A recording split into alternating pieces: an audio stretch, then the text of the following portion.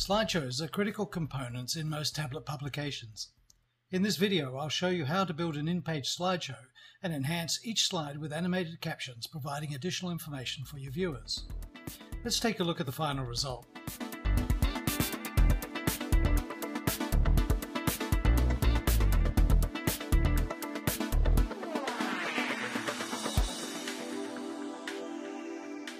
In the video, we'll create the basic in-page slideshow. We will add a semi-transparent animated background for the caption text and add individual caption text for each slide. Before I start building the slideshow, let's take a look at how our final file structure will look. This will give us a clearer understanding of how the elements and files fit together to create the final result. The basic folder structure for my presentation is as follows. Slideshow, 10-cover, 20-slideshow. Inside the 10-cover folder is a simple B1-1 page that I'll use as a cover page for the presentation. For the slideshow, I'll be using a background page created in InDesign. This will be exported as a PDF and named B1-1 and saved into the 20-slideshow. This page will contain a rectangular frame that defines where our slideshow will be located in the page. Each slide will be a separate page in a PDF document. That document will reside in a folder named IPS1, which stands for In-Page Slideshow, and that'll be in the 20-slideshows folder. As it's the first layer shown, it will be named S-1 for Slideshow Page 1, Level 1. Each caption background will be a separate page in a PDF document, also residing in the IPS1 folder. As it's the second layer, it will be named S1-2 for Slideshow Page 1, Level 2. Each caption text will also be a separate page in a PDF document, once again residing in the IPS1 folder. As it's the third layer, it will be named S1-3 for Slideshow Page 1, Level 3. And that's our complete file structure for this example.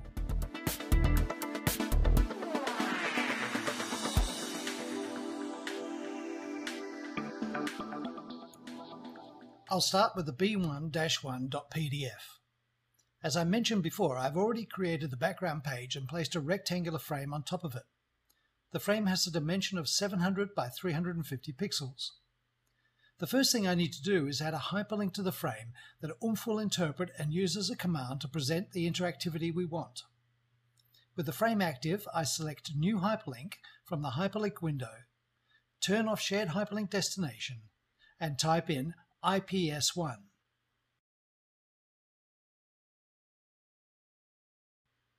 Before I export, I'll remove the color from the frame.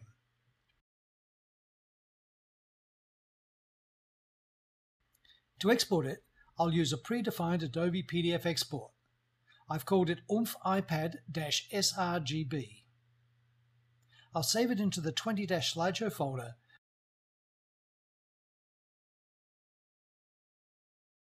and name it b1-1.pdf. As it's the only page in InDesign, I'll leave it set at all and select Export.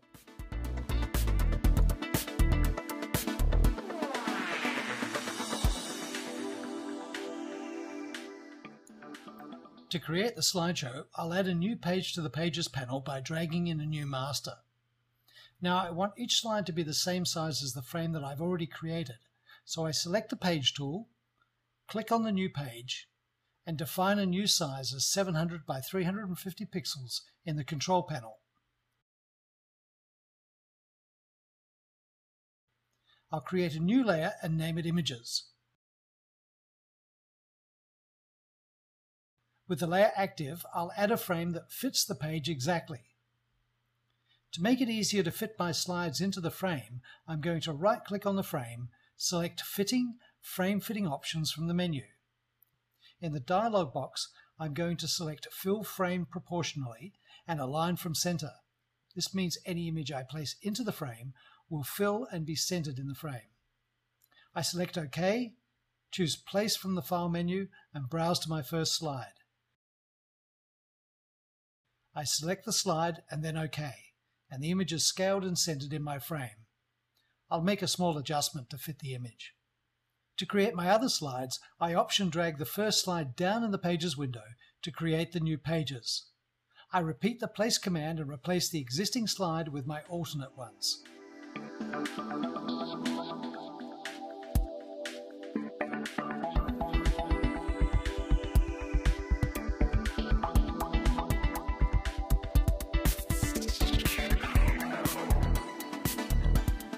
I'll export these three pages as a single PDF using the Adobe PDF export as before.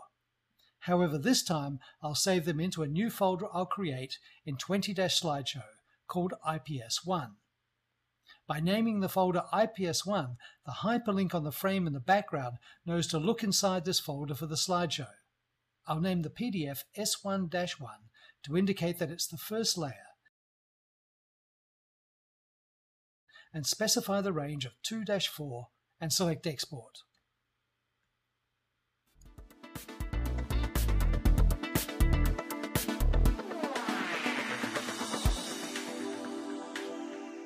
Let's test what we've developed so far. I'm going to be testing using the iPad simulator that comes bundled with Apple Xcode. If you don't have Xcode, you can simply test by sideloading via iTunes.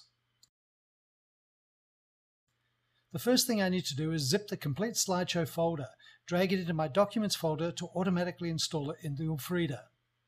In the simulator, I can swipe to the slideshow page and swipe between each individual slide.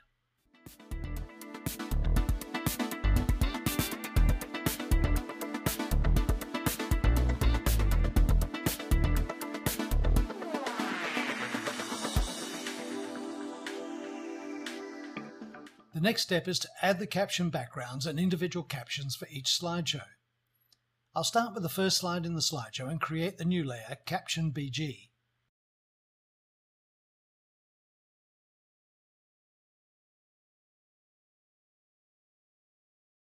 I'm going to add a new frame, fill it with black,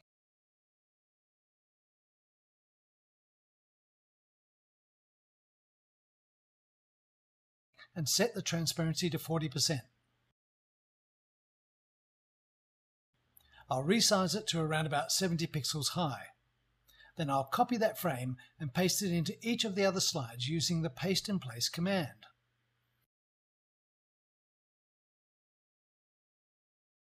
Now I'll add a new layer for my captions called Caption Text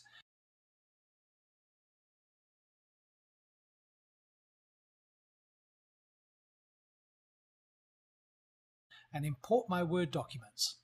I've named the Word files Caption 1, 2 and 3 so I can bring them in as separate place items. I'll place Caption 1 in the first slide, 2 in the second and 3 in the third. I'll resize the frame to fit the text on each slide.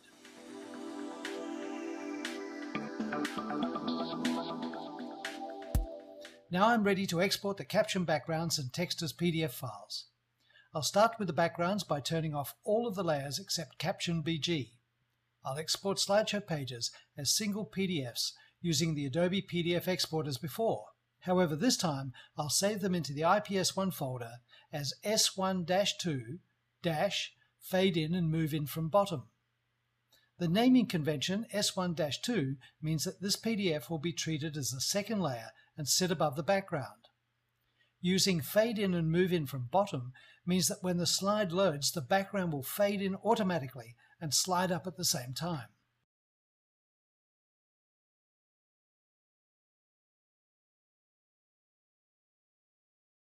I'll do the same thing with the caption text, but this time I'll name the file s1-3-fade in, and it will become the top layer and fade in the text after the background is loaded.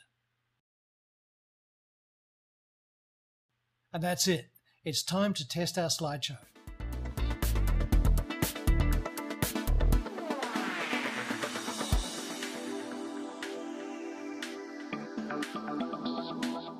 I'll compress the slideshow folder, drag it to my documents folder, and review it in the simulator. Now, when each slide loads, the caption background and caption text animate over the top of the slide.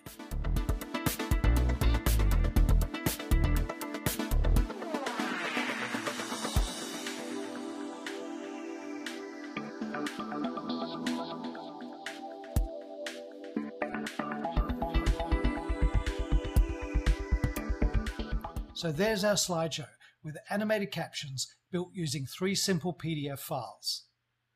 In my next video, I'll show you how to add the option for the viewer to tap and hide the caption and modify the animation timings. You can download the InDesign and OOMPH files from our website at oomphhq.com tutorial slideshow.zip.